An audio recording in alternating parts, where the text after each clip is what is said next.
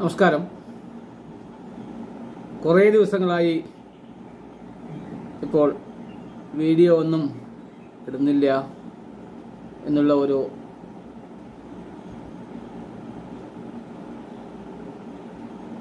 കാര്യം നിങ്ങൾക്ക് എല്ലാവർക്കും അറിയാം. ഒരു ടൂറിലായിരുന്നു. ഈ വരുന്ന എട്ടാം തീയതി എട്ട് പതിനൊന്ന് രണ്ടായിരത്തി ഇരുപത്തിരണ്ട് അന്ന് ഒരു ഗ്രഹണം വരുന്നുണ്ട്. ചന്ദ്രഗ്രഹണം. സാധാരണ രീതിയിൽ നാല് ഗ്രഹണങ്ങൾ വന്നു ചേരും വന്നു പോകും. അത് ആചരിക്കുന്നവർ ആചരിക്കും ആചരിക്കാത്തവർ ആചരിക്കില്ല. എന്നൊക്കെ ആയിരുന്നെങ്കിലും എങ്ങനെയാണോ ഈ ജഗത്തിൽ അതായത് ഈ ലോകത്തിൽ ഈ പ്രതിഭാസങ്ങളെല്ലാം ഉണ്ട്. ഗ്രഹങ്ങൾക്ക് ഗ്രാവിറ്റേഷണൽ ഫോഴ്സ് എന്ന് പറയുന്നതായിട്ടുള്ള ഗുരുത്വാകർഷണ ബലം എന്നൊക്കെ പഠിച്ചിട്ടുണ്ടല്ലോ. അങ്ങനെയൊക്കെ ഉണ്ട്. ഗ്രഹാണാം അതിചാരേണ സൂചയന്തി മനീഷിണ കോവക്ത താരതമ്യസ്യ തമേഘം വേദസംവിന എന്നൊക്കെയാണ് ആചാര്യന്മാർ പറയുന്നത്. ബ്രഹ്മാവിനും കൂടെ പറയാൻ കഷ്ടങ്ങളുണ്ട്. ബ്രഹ്മാവൂടെ അതായത് എല്ലാം ഉണ്ടാക്കിയ ബ്രഹ്മാവിനും കൂടെ ഈ ഗ്രഹങ്ങളുടെ സ്ഥിതികളെപ്പറ്റി പറയാനുള്ള കഷ്ടതകളുണ്ട് എന്നാണ് ശാസ്ത്രം പറയുന്നത്. അപ്പോൾ പൊതുവായിട്ട് ഗ്രഹണം എന്ന് പറഞ്ഞാൽ ഒരു പ്രതിഭാസമാണ്. ആ പ്രതിഭാസത്തിൽ മേഷലഗ്നം ഋഷഭലഗ്നം മിഥുനലഗ്നം എന്ന് പറഞ്ഞിട്ട് സൂര്യന്റെ ഉദയ രാശി ഉദയ രശ്മി പെടുന്ന സ്ഥലമാണ്. ഉദയ ഉദയബിന്ദു എന്നൊക്കെ പറയാം. ഡിഗ്രിയാണ്. ആ ബേസിലാണ് ഈ ലഗ്നം എന്ന് പറയുന്നത്. അതുകൊണ്ട് രാത്രിയെ പിറന്നാലും ലഗ്നമുണ്ട് പകൽ പിറന്നാലും ലഗ്നമുണ്ട്. അപ്പോൾ മേടലഗ്നം മേഷലഗ്നം. അശ്വതി ഭരണി കാർത്തികക്കാൽ ഇതാണ് ഈ മേഷരാശിയിലുള്ള നക്ഷത്രങ്ങൾ അതിന്റെ അകത്തായിരിക്കും ഏതെങ്കിലും ഒരു നക്ഷത്രത്തിലായിരിക്കും ഈ ലഗ്നം അപ്പോൾ അപ്പോൾ ഇപ്രാവശ്യം വരുന്ന ഗ്രഹണം ഭരണി നക്ഷത്രത്തിലാണ് വരുന്നത്. അതുകൊണ്ട് തന്നെ അതിന്റെ തൊട്ടടുത്ത നക്ഷത്രങ്ങളായിട്ടുള്ള അശ്വതി ഇങ്ങോട്ട് വലതുഭാഗത്തേക്കുള്ള കാർത്തിക ഈ നക്ഷത്രക്കാർക്ക് കുറച്ച് അതിന്റെ ഫോഴ്സ് അധികമായിരിക്കും. അതുപോലെ തന്നെ ജന്മ അനുജന്മ ത്രിജന്മം എന്ന് പറയുന്നതായിട്ടുള്ള ഭരണി പൂരം പൂരാടം. ഈ നക്ഷത്രക്കാർക്കും ഈ ഗ്രഹങ്ങൾ ഗ്രഹങ്ങളെ ഗ്രഹണം കൊണ്ട് ചന്ദ്രഗ്രഹണം കൊണ്ട് ചെറിയ ബാധിപ്പുകളുണ്ട്. അപ്പോൾ ചന്ദ്രഗ്രഹണം സൂര്യഗ്രഹണം ഇതിൽ എന്താണ് ഒരു വ്യത്യാസം എന്ന് ചോദിച്ചു കഴിഞ്ഞാൽ ചന്ദ്രഗ്രഹണം ബാധിക്കുന്നത് മനഃശാന്തിയെയാണ്. സൂര്യഗ്രഹണം ബാധിക്കുന്നത് കുടുംബ ഭദ്രതയെയാണ്. അതാണ് ചന്ദ്രഗ്രഹണത്തിനും സൂര്യഗ്രഹണത്തിനും തമ്മിലുള്ള വ്യത്യാസം. അപ്പോൾ സൂര്യൻ പിതൃകാരകനാണ് എന്നുള്ളതുകൊണ്ട് നമ്മുടെ പരമ്പരയും അത് സംബന്ധമായിട്ടുള്ള കുട്ടികൾ കുട്ടികളുടെ കുട്ടികൾ അല്ലെങ്കിൽ നമ്മുടെ അച്ഛൻ അമ്മ മുത്തച്ഛൻ മുത്തച്ഛി ഇങ്ങനെയുള്ള കാര്യങ്ങൾ അതായത് പൈതൃകമായിട്ടുള്ള കാര്യങ്ങളെയാണ് ഈ സൂര്യഗ്രഹണം കൊണ്ട് ബാധിക്കുക. എന്നാൽ ചന്ദ്രഗ്രഹണം അങ്ങനെയല്ല. മനഃക്കാരകനാണ് ചന്ദ്രമ മനസോ ജാത എന്നാണ് വേദം പറയുന്നത്. അപ്പോൾ മനസ്സിന്റെ കാരകനാണ് ചന്ദ്രൻ. മനയേവ മനുഷ്യാണം കാരണം ബന്ധമോക്ഷയോഹോ എന്നൊക്കെ മറ്റുള്ള ശാസ്ത്രങ്ങളൊക്കെ പറയുന്നുണ്ട്.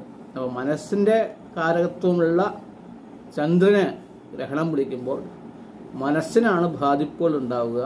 അതുകൊണ്ട് ഈ നക്ഷത്രത്തിൽ പുറന്നിട്ടുള്ളവർ ഭരണിപൂരം പൂരാടം അശ്വതി കാർത്തിക നക്ഷത്രത്തിലുള്ളവർക്ക് അധികമായിട്ടുള്ള ഒരു ഉന്മേഷക്കുറവ് എന്ന് എന്ന് പറയാം. അതുപോലെ തന്നെ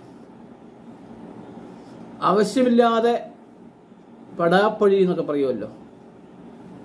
അതായത് ചെയ്യാത്ത കാര്യങ്ങൾക്ക് നമുക്ക് അതിന്റെ ദുഷ്ടഫലം നമ്മൾ അനുഭവിക്കേണ്ടി വരിക.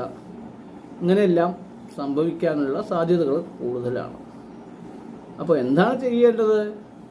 ചോദിച്ചു കഴിഞ്ഞാൽ ആപതി കിംഘരണീയം സ്മരണീയം ചരണയുഗം അംബായാഹ തത്സ്മരണം കിം കുരുധേ?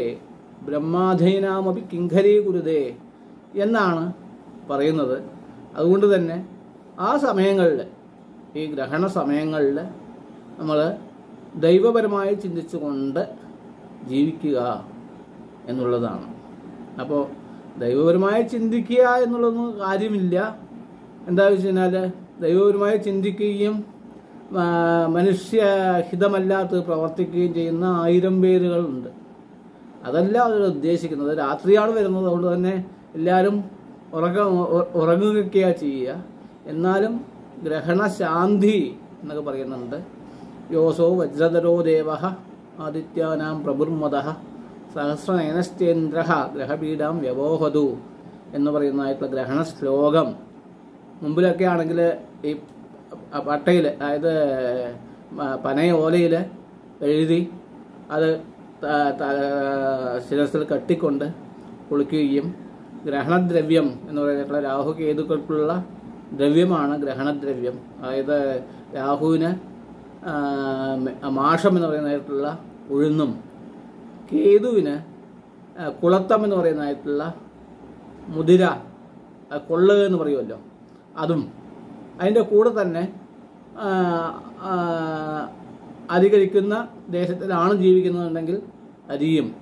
അല്ല ഗോ ഗോതമ്പാണ് കഴിക്കുന്ന ദേശത്തിലാണ് ജീവിക്കുന്നതുണ്ടെങ്കിൽ ഗോതമ്പും. കൂടെ കുറച്ച് പലവ്യഞ്ജനങ്ങളും. കൂടാതെ പ്രധാനമായിട്ട് നമ്മൾ കുമ്പളങ്ങ ഇളവൻ എന്നൊക്കെ പറയും. ഒരു കുമ്പളങ്ങയും ഒരു തേങ്ങയും ഒരു താമ്പൂലം വെറ്റിലയും പാക്കും ചേർന്നിട്ടുള്ള ഇതും. ഒരു ദക്ഷിണയുമായിട്ട് ഉത്തമ ബ്രാഹ്മണർക്ക് ദാനം ചെയ്യുക എന്നാണ് ഈ ഇതിനെ ശാന്തിയായിട്ട് പറയുന്നത്.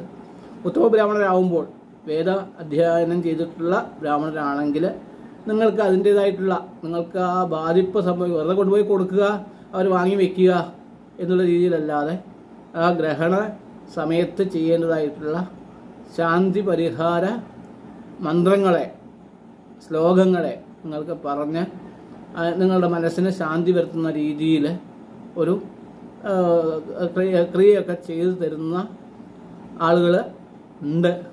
അവിടെ ആണ് കൊടുക്കേണ്ടത്. അതായത്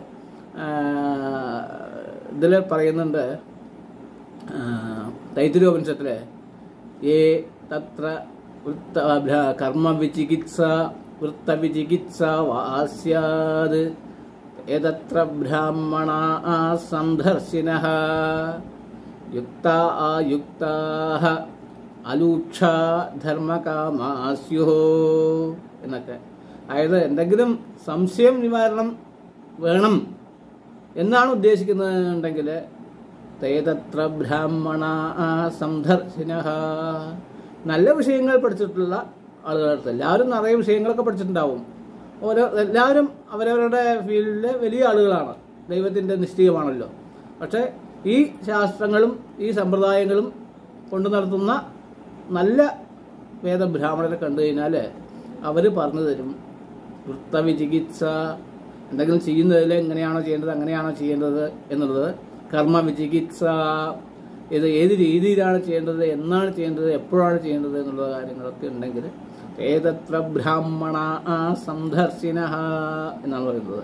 അവിടെ നല്ല ബ്രാഹ്മണരെ ഉത്തമ ബ്രാഹ്മണരെ കണ്ടു ചോദിച്ചാൽ അവർ പറഞ്ഞു തരും എന്നാണ് പറയുന്നത്. ഇവിടെ ബ്രാഹ്മണൻ കൊണ്ട് ബ്രഹ്മണ്യം കൊണ്ട് കുന്തിച്ചു കുന്തിച്ചു എന്ന് പറയുന്ന പോലെ അതല്ല. ജന്മം കൊണ്ടെന്നുള്ള ബ്രാഹ്മണൻ എന്നുള്ളതല്ല അവിടെ ഉദ്ദേശിക്കുന്നത്. അവരുടെ പ്രവൃത്തി കൊണ്ട് നല്ല വഴി കാണിക്കുന്ന ജനങ്ങളെല്ലാം ബ്രാഹ്മണരായിട്ട് കണക്ക് കൂട്ടാം. ആ നല്ലവരായിട്ടുള്ള വിഷയജ്ഞാനമുള്ള ആളുകളെ കണ്ട് മനസ്സിലാക്കി ഗ്രഹണശാന്തി ചെയ്യുക. ഈ ചന്ദ്രഗ്രഹണം കൊണ്ട് നിങ്ങൾക്ക് എല്ലാവർക്കും ഈ അഞ്ച് നക്ഷത്രക്കാർക്കും അതുപോലെ തന്നെ മറ്റുള്ള നക്ഷത്രക്കാർക്കും ശുഭ ഹേതുക്കൾ ഉണ്ടാവട്ടെ എന്ന് പ്രാർത്ഥിക്കുകയാണ്. നമസ്കാരം. ഇതുവരെ ഈ ചാനൽ സബ്സ്ക്രൈബ് ചെയ്തിട്ടില്ല എന്നുണ്ടെങ്കിൽ ഈ ചാനൽ സബ്സ്ക്രൈബ് ചെയ്യുക. മറ്റുള്ളവരൊക്കെ അയച്ചു കൊടുക്കുകയും ചെയ്യുക. നമസ്കാരം. വീണ്ടും വേറൊരു ജ്യോതിഷ വിഷയമായിട്ട് നമുക്ക് കാണാം.